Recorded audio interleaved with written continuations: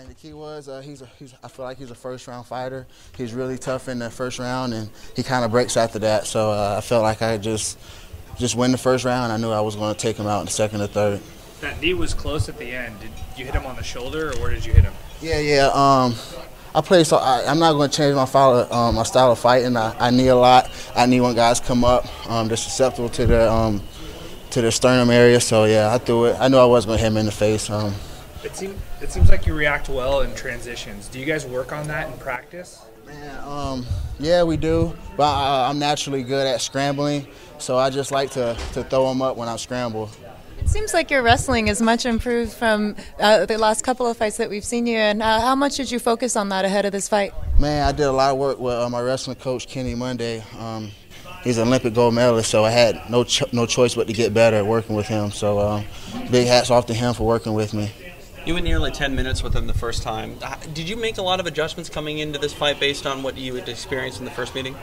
Uh, yes, sir. The adjustments I made was um, this is by, by, far been my hardest training camp. I did a lot of my um, my preparation inside our cage, and I did a lot of um, work with my Blackzilian brothers. I had a um, fresh guy every round, so man, my training was about three times harder than the fight, and the, and the fight was hard, but my training was just harder.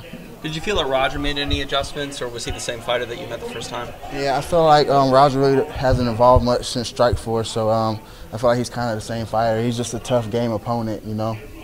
Looking back at the strikes, you threw a lot of knees to the body, uh, knees from everywhere. You said you, you, you like that uh, position. Um, never once did it cross your mind, though, that, hey, maybe I got to worry about these knees when he does have three points at the ground? No, like I said, um, I'm not going to change my style of fighting. I like to throw knees when, when guys come up. Um, if you think too long, you, you, thought wrong. You know, you already missed your next step if you're thinking about it. So I'm not thinking when I fight. I'm just throwing it. If it happens, it happens. It's a mistake. I'm not a dirty fighter, so i will never intentionally try to hit somebody, you know, dirtily. You know. What does this win say about you going forward? Uh, do, do, you think it puts you in line to request an opponent, or is it just whoever's next? Yeah, I'm not that type of fighter to request somebody. Uh, I just want to make a statement, and whoever the UFC or Dana White wants me to have next, I'll gladly accept it. Seems like a lot of people in the past maybe year were a bit hard on the Black Blackzilians as a camp, but this year you seem to have a resurgence with Vitor Belfort as well as Rashad Evans and yourself now getting that win. How does that feel to take another win home back to the camp?